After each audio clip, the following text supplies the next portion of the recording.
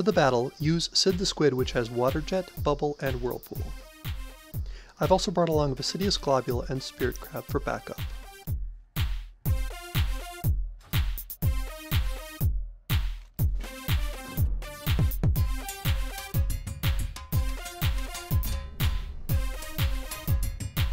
Start the battle off using Syd.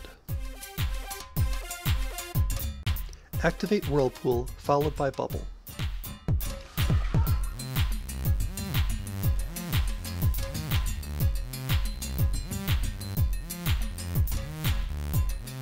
Spam Water Jet until Tirs dies. Do not use your Whirlpool again for Tirs, even if it becomes available.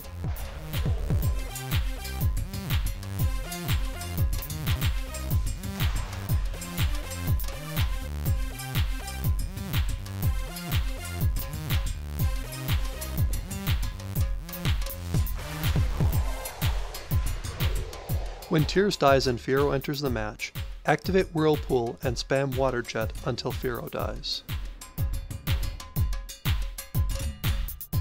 For defensive purposes, if Syd dies during Tirs, bring in the Globule, but if it dies during Fiero, swap in your Spirit Crab.